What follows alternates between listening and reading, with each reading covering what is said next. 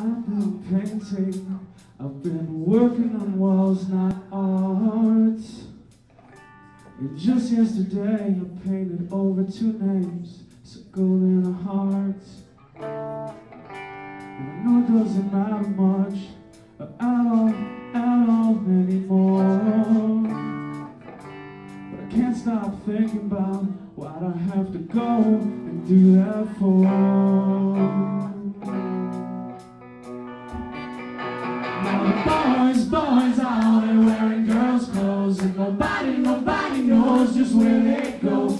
And the girls, girls in the makeup and girls trying to see Seeing their scene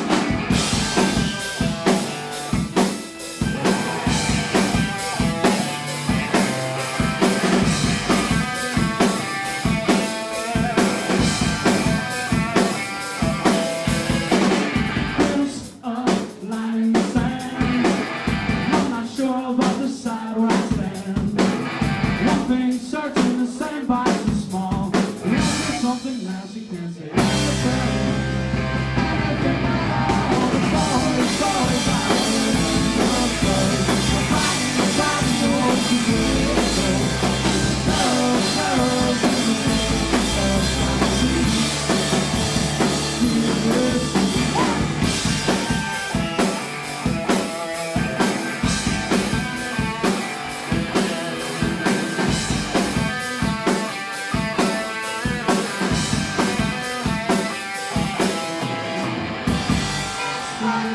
Nothing